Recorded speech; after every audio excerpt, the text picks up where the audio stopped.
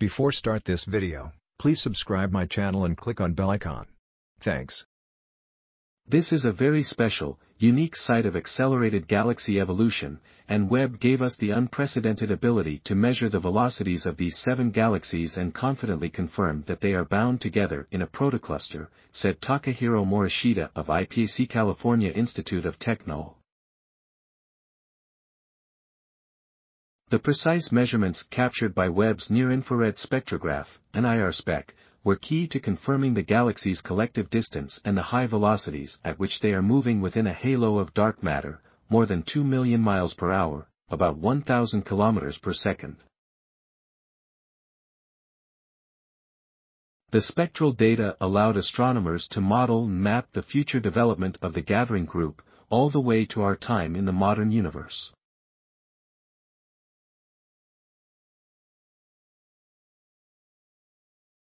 The prediction that the protocluster will eventually resemble the Coma cluster means that it could eventually be among the densest known galaxy collections, with thousands of members.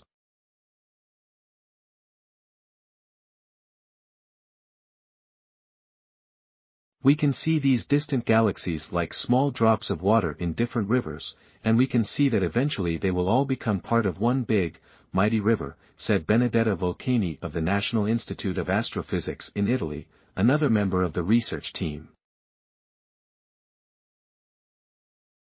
Galaxy clusters are the greatest concentrations of mass in the known universe, which can dramatically warp the fabric of spacetime itself.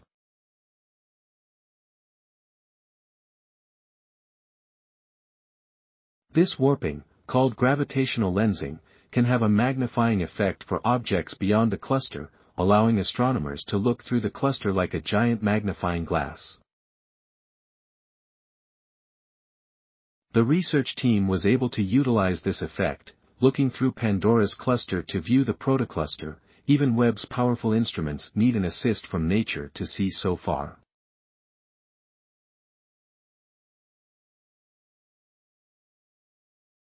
Exploring how large clusters like Pandora and Coma first came together has been difficult, due to the expansion of the universe stretching light beyond visible wavelengths into the infrared, where astronomers lacked high-resolution data before Webb. Webb's infrared instruments were developed specifically to fill in these gaps at the beginning of the universe's story.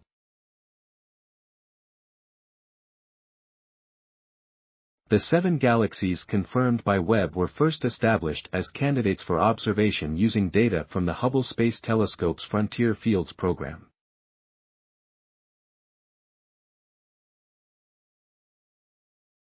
The program dedicated Hubble time to observations using gravitational lensing to observe very distant galaxies in detail.